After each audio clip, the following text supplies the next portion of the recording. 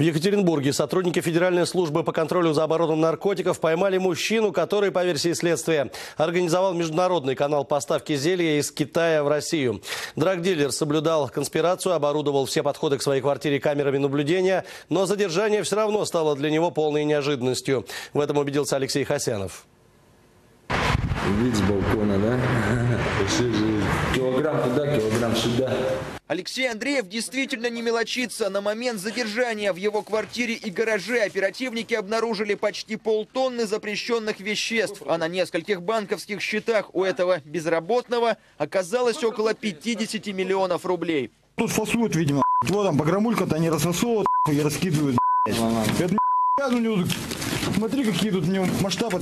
Нормальные масштабы. Порошок, говорят наркоманы, невероятно универсален. Его можно и колоть, и курить, и нюхать. Главное правильно приготовить. Даже сам Алексеев жаловался сообщникам. Мол, из-за несоблюдения технологий теряют покупателей. Иногда преступники смешивали наркотик в неверных пропорциях, от которых у потребителей наступала мгновенная смерть.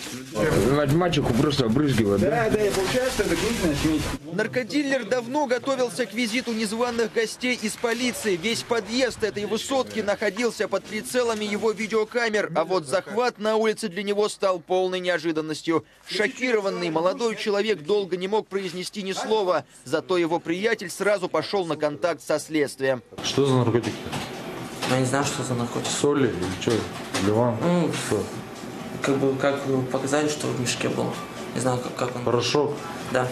Из Екатеринбурга порошок расходился без преувеличения по всей стране. На Урал же он попал прямиком из Китая. Курьеры в Поднебесную отправлялись под видом туристов, так называемых «помогаев».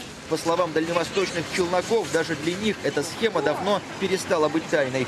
Потому что каждую сумку таможенники не скрывают. Нет, не скрывают. Но еще многих, наверное, знают, то, что если группа, там уже ответственность. там видно? Задержанные есть и по ту сторону границы. Наркотики из Китая, по информации сыщиков, продавал некий Саша. Мужчина, как и его российский коллега, тоже находится за решеткой. Алексей Хасянов, Александр Громов. Место происшествия.